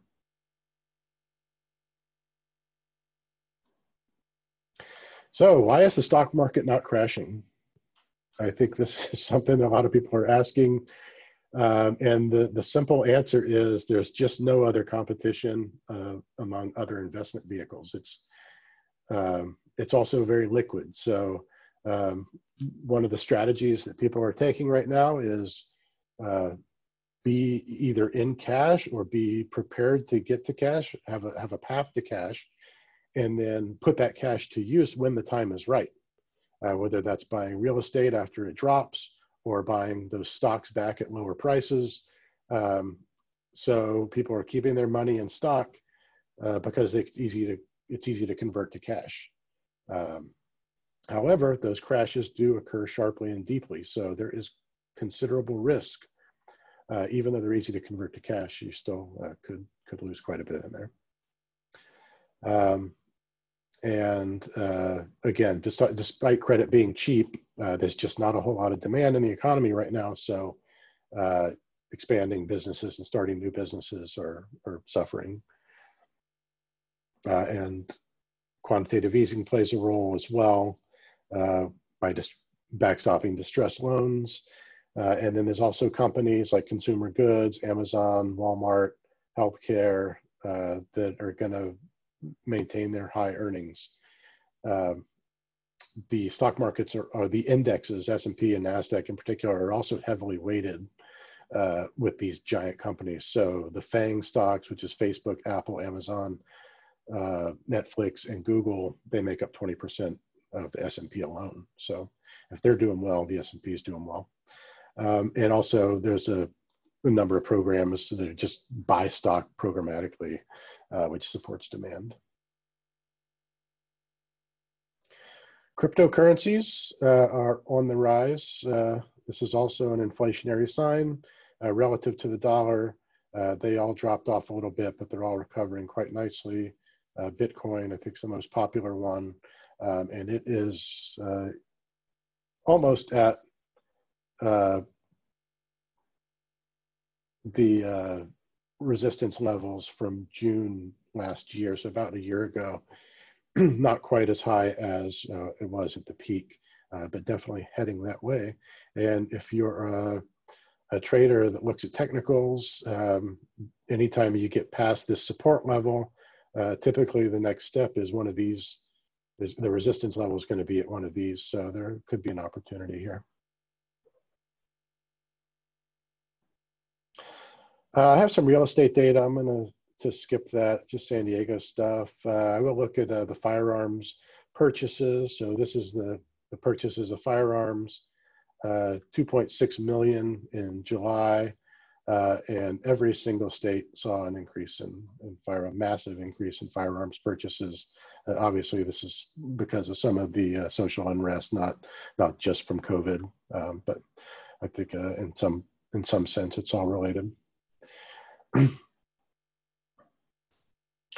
Uh, and then just to, to finish on a, a happy note, uh, ice cream production is still up, so you still still can get some ice cream and, and, try to relax and enjoy and forget about the world for a little bit. Um, and uh, the price is not not uh, particularly high now either, a little bit up, but uh, for the most part, um, you can still get your get your ice cream out there. And hopefully that takes the sting off a little bit. And that's all I got for today. I think I finished right at the perfect time. Wow, Matt, do you have any stats on ice cream demand? um, uh, it's down. I, I think summertime's the big time, and that you need to have a you know you need to be on the Bloomberg uh, channel. Uh, there are a couple questions. Thank you, and of course this is your program, but there are a couple questions I thought I would you know re up for you. Um, Charles asked about a little bit about the technical workflow and you know connecting to the uh, the various APIs. You know, do, can you do that directly from Tableau Public? Is is the question. Uh, that's a good question. Um, so obviously you would start with Tableau Desktop to, to create that connection before you, you publish it up there. Um, I don't know if you can call APIs directly from Tableau as a data source directly, or if you can do that with an extension or something. I just, unfortunately, I don't know the answer to that. Um, for me though, I, I, pulled it through the API through another a little tool that I developed, um, and I just have it available for as a data source in Tableau, but it's not, I'm not calling the API directly in real time here. Okay, couple of, thank you. Uh, a couple other technical questions. Uh, how did you get the YouTube video to play without errors? That's a good question. I'm not sure if uh, if Tableau is relying on a browser that's installed, uh, like a like because I have Edge running or something uh, that it works. But I just pasted the URL here. Yeah. Nothing special. Okay, great. Keep it simple. And then um, um, another question, a little more detailed, uh, regarding the sort by table calculation. Would it work to do exactly what you did, but first create a second instance of the calculation? Mm-hmm. Uh, that's from Anonymous. Good question. And uh, trying to remember, I think that was the wages or the jobs one. Uh, yeah, so the, the issue is in order to use it, in order to take advantage of this little trick of, of having Tableau sort a dimension automatically by putting it up front here, you have to have it as a discrete dimension. So that means that you're going to get a point for every minus 62%, every minus 58%, minus 56. So you can see the number of marks here and the number of rows. It went from something to 268. It was at 90. So here I have 90 rows because I have a lot of data points across the series here.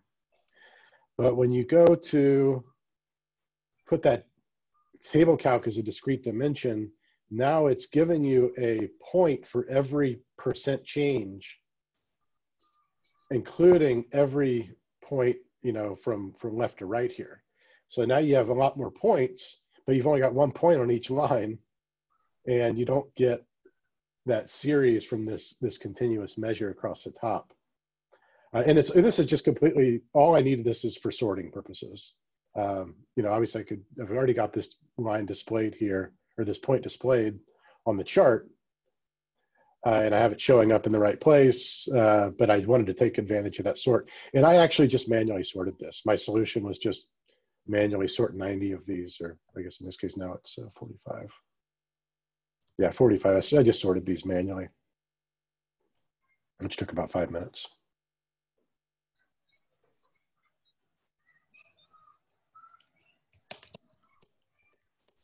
So, so yeah, I don't, I don't think that creating a second instance is going to help because it would also be, it would have to be discrete. In order to use it for the sorting, you have to have it first here. And, and a, a technique people use, if they want to use an index like that for sorting, you would usually hide it because you don't want that to show. So you make that discrete, put it up front, and then say, okay, I don't want to show that, but the sorting is still in place. So you're still getting the sorting benefit, but you don't have to show it, especially if you multiply that by minus one. Uh, you don't want to show negative numbers up there. Um, so yeah, I don't think that uh, duplicating it is it's going to solve the problem in this case. Uh, so I, I, see the question about um, currency printing. Is that hyperinflation or high inflation? The, the currency printing itself is not inflation in itself. I mean, this is just literally more money, you know, more bills and, and coins out in, in the world. Um, a lot of time, you know, they're, they're in circulation because they're not in vaults. So the banks are putting them out there so that people can use them to make it spend. They're trying to make fast, easy money. They're trying to to promote inflation now because we have such deflationary pressures. Um, so that in itself is not, but basically, uh, you know, inflation is more money facing fewer products, and um, that's why more money in print is uh, is a factor in inflation. So this is definitely one reason why people see hyperinflation on the horizon.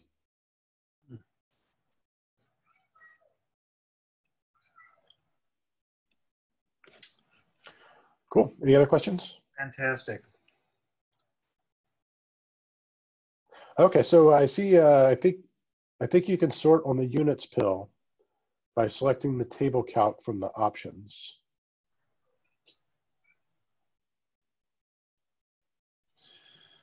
So Matt, there have been a couple other questions that have been floating around about the LinkedIn group that you mentioned. You know, what like how do people find it? join it? Does it have a name? And uh, uh, uh, you might want to talk about that as well. Uh, the, this has been a great um, session, especially for audience participation. And there's some questions in chat, uh, comments about LinkedIn and following up, finding out about job opportunities, things like that. Yeah. So the uh, on LinkedIn there are uh, LinkedIn groups and we have a San Diego Tableau user group uh, where we post, uh, where I post any job op- openings that I hear about. Um, anyone is free to post in there, uh, so you can take uh, take advantage of that. And uh, we will post uh, announcements for future meetings as well as material from meetings, including this one. Um, I can't publish this whole workbook because there's some because of some of the limitations on the FRED uh, data usage terms, but um, I can uh, definitely talk about any techniques or anything that I used here. Great, thank you. And I posted the uh, the LinkedIn URL to our chat for this group. Perfect.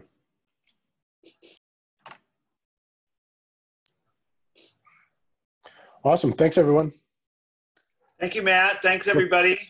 Yeah, we'll let you know about the, the next meeting. Um, if anyone's interested in presenting at the next meeting or eventually hosting an in-person meeting uh, at your company, uh, definitely let me know about that. Uh, we, we try to move the meeting around different parts of San Diego if possible to give everyone an opportunity to, to attend. Um, and uh, hopefully we can uh, get back to, to real in-person meetings at some point soon. All right, Matt. Thanks so much. Thanks, everybody. I'm going to go ahead and sign off. Thanks, everyone. Do this Take again. care.